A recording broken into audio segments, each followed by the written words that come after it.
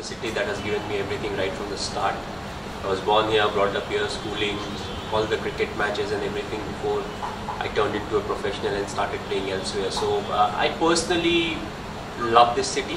You know, there's something about Ranchi that brings me back over here. And in fact, uh, after first couple of years of international cricket, you know, one of the players told me, when are you shifting out of Ranchi? And I was like, no, no, I won't shift out of Ranchi. You know, I love the city. Like, let's have a bet.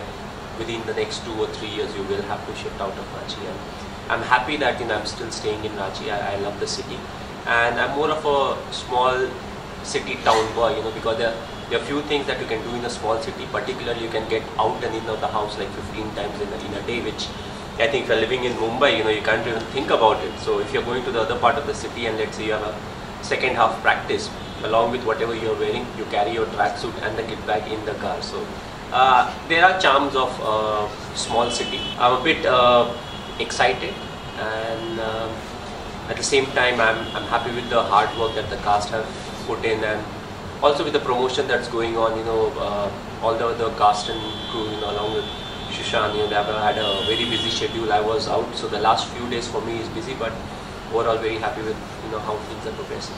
The reason being we have uh, never been together like a group. You know, you, you keep meeting a few friends here and there, but uh, this will be uh, one evening where all of them will be together at the same place and a lot of them will have their own opinion about me, uh, which uh, will be nice to hear uh, because you don't get an opportunity to ask them or in fact, I feel personally you can't really ask them as to what they thought about me. So today, you know, the uh, the circumstances will be such that they would love to speak whatever they have uh, in their mind. And yes, the teachers in particular, uh, you know, we are quite used to getting punishments from the teacher, but uh, you know, this is the first occasion where they'll be praising me, hopefully.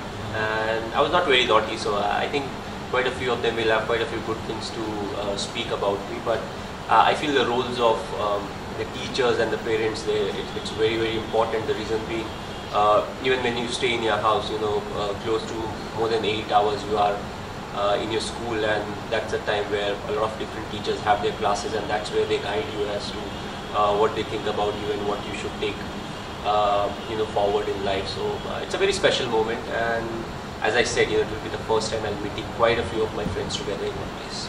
I remember the first time I came here was even bigger emotional moment. This is like a deja vu moment happening right now. Uh, so yeah, I've been uh, having conversations with the man so many times here, right there.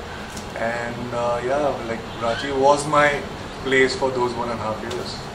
Since uh, uh, 99 2000 when I came came here first time and after that uh, when I came to his house in 2005 I think 2005 uh, so everything was I, I was recollecting and uh, I didn't sleep last night. So I was thinking I was just thinking about that. So yeah definitely emotional moment